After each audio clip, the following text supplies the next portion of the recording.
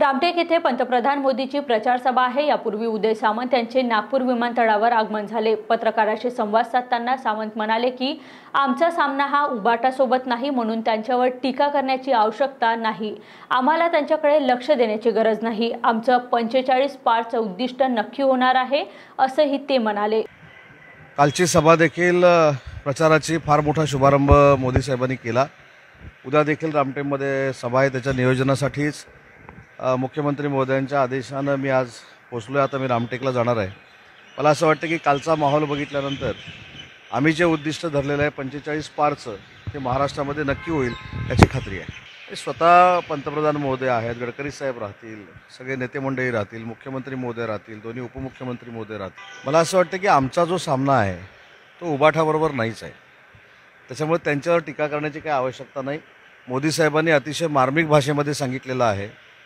की आता जगानं मान्य केलेली आहे की शिवसेना खरी कोणाची आहे आणि तेच काल सुतोवाच आदरणीय नरेंद्र मोदी साहेबांनी केलेले आहे आणि काल आपल्याला माहिती असेल शिवसेनेच्या म्हणजे उबाठाच्या नेत्याने असं सांगितलं की पस्तीस जागा येतील महाराष्ट्रामध्ये. तर ते चुकून झालं. त्यांना असं म्हणायचं होतं की भारतामध्ये आमच्या पस्तीस जागा येतील. त्याच्यामुळे त्यांच्याकडे काही लक्ष द्यायची आवश्यकता आहे असं मला वाटत नाही. नरेंद्र मोदी साहेब चार जूनला पुन्हा एकदा देशाचे पंतप्रधान होतील. ही काळ्या दगडावरची रेग आहे. आणि एकनाथजी शिंदे देवेंद्रजी आणि अजितदादांच्या नेतृत्वाखाली पंचेचाळीस पार आम्ही नक्की करू.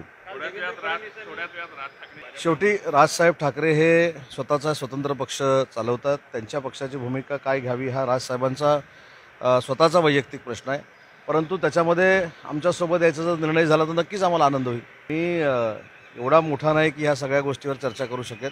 पण राजसाहेबांनी जर महायुतीमध्ये बरोबर यायचा निर्णय घेतला तर आम्हाला आनंद होईल. लोकशाहीमध्ये ज्यावेळी अलायन्स होते त्यावेळी जागा वाटपावरनं पाठीपुढं होत असतं.